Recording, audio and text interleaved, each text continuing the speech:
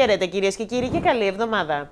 Το κάλεσμα Μητσοτάκης στις επερχόμενες ευρωεκλογές να μην χαθεί ούτε μία ψήφος, αλλά και η παραδοχή του Άδων Γεωργιάδη ότι η διαφορά ανάμεσα στον ΣΥΡΙΖΑ και τη Νέα Δημοκρατία θα είναι 3,5 ποσοστιαίες μονάδες, ενισχύει τα επιχειρήματα όλων όσων μέσα στο κυβερνών κόμμα τάχτηκαν υπέρ της άποψης ότι οι εθνικές εκλογές θα πρέπει να γίνουν το φθινόπωρο.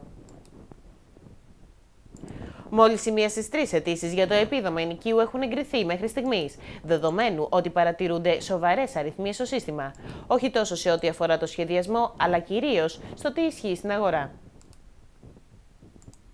Κλειστά σήμερα στην Πάτρα τα καταστήματα εστίασης και αναψυχής. Αναζητούν καφέ οι πατρινοί σε αρτοπία.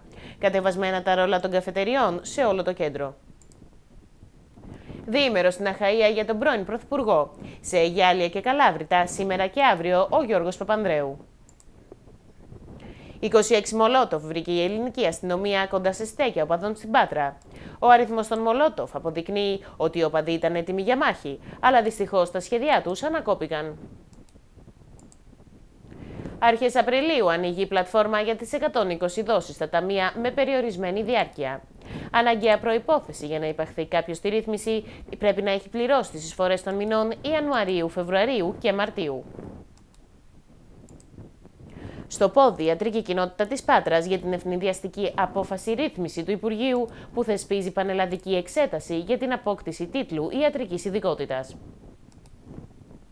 Και σε αυτό το σημείο, κυρίες και κύριοι, ολοκληρώνεται η σύντομη ενημέρωσή σας. Μείνετε συντονισμένοι στο Πάτρα TV.